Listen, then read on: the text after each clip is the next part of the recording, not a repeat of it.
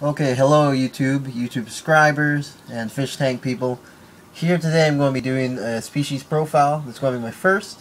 I just want to see how I contribute to the community and how other people will share their knowledge with me. So, my first um, species profile is going to be about dun, dun, dun, the spotted gouramis.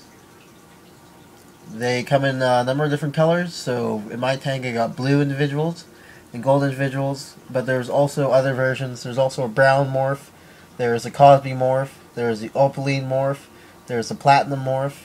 So they're a fairly variable fish in terms of coloration, both natural and um, both natural and uh, artificially created color morphs. And one thing I want to talk about first, I'm going to talk about is their um, their basic uh, morphology, their size. So usually listed growing up to six inches, but normally you get individuals that are between three, like this guy, and closer to four, like the blue guy in the back. So um, you rarely ever see a six-inch um, spotted gouramis. You occasionally see five-inch ones, but mainly you're going to be seeing three to four-inch individuals, with the males being a bit bigger than the females. And their sexing is very easy. The male's got a large dorsal fin. They're a bit more colorful, and they have a slimmer body. As well, all their fins are a little bit longer too than the uh, females, which tend to be quite plump looking. But that's not always the case. You sometimes get less voluptuous looking females, like this one, I guess you could say. She is um, actually the runt of the group because how small she is compared to the other individuals that are of similar age to her. And um, about that, they belong to the same family as the bettas and the other gouramis, like the paradise fish. Uh, so they have a labyrinth organ, and as you see, they have to gulp air every once in a while, or else they'll drown. So you gotta have space between your water surface and your lid to make sure they don't uh, suffocate in your uh, aquarium. So um, one thing about them is, uh, since I've talked about size, I'm going to be moving on to uh, feeding. These guys eat pretty much anything. Any flake food they'll eat. Pellets, as long as they fit in their mouths, they'll eat. These guys, I've fed these guys shrimp pellets, betta pellets, small grade cichlid pellets, algae wafers, um, tubifex worms, blood worms, mosquito larvae, garlic yesterday. They eat pretty much anything, but you gotta feed them a good staple food. So a good staple flake with some treats of maybe worms or brine shrimp every once in a while. That's all they need. They're not too picky. And as for their temperature requirements, they are tropical fish, of course.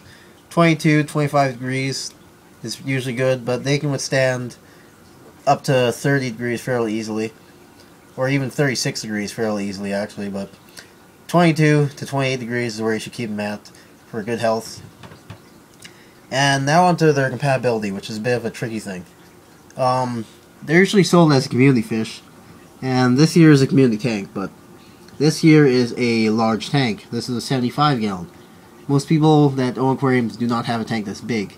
So people, so when you buy these tank fish, they you think of them as community fish, but they're bit, they're community fish with an asterisk on them. Okay, they they're they can be aggressive at times, and sometimes there seems to be this random aggression. So if you're going to be keeping them with our fish, make sure the tank is at least a 29 gallon, at least 30 inches long or so, or else they, they can just get too aggressive for your smaller fish and then the killing them or stressing them out.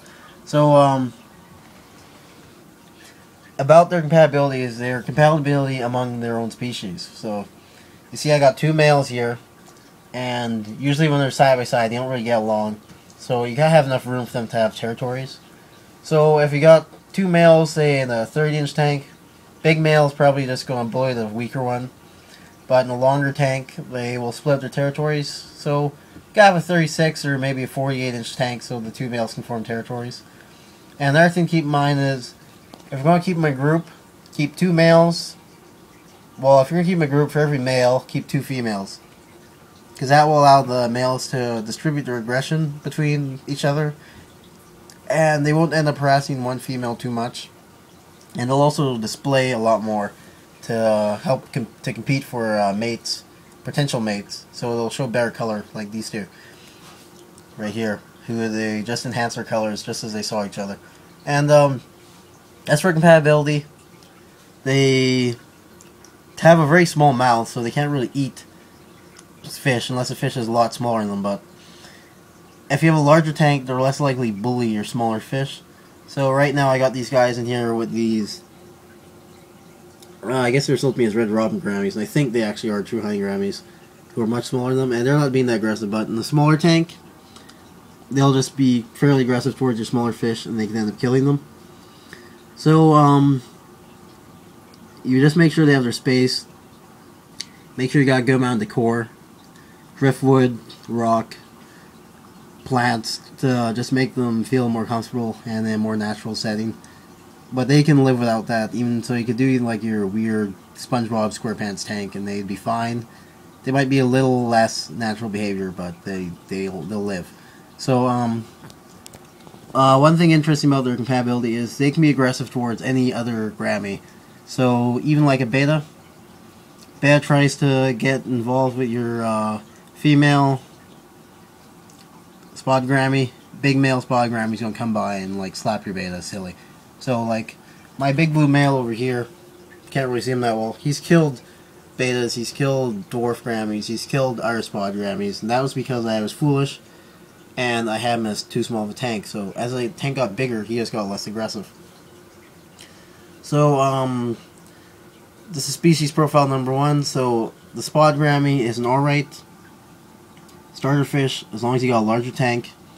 And as for compatibility, I would say um, keep them with um, other Gouramis is alright. Avoid cichlids. Zebra Danos are good. Giant Danos are good. Barbs are good. Guppies. Uh, larger Tetras. Tetras that won't nip their fins, of course. Fish that don't nip their fins. Angelfish work. Just make sure you got space. Make sure you got space and you'll have a fish that'll live a long time. A fish that's adaptable. A fish that's flexible. So, um, this has been the first species profile on the spod Gourami. Well, it's called the Blue Gourami, the Opaline Gourami, the Gold Gourami, Cosby Gourami. Just call them wherever you want. They're good. They're a pretty good fish. Thanks for watching. Please rate and subscribe.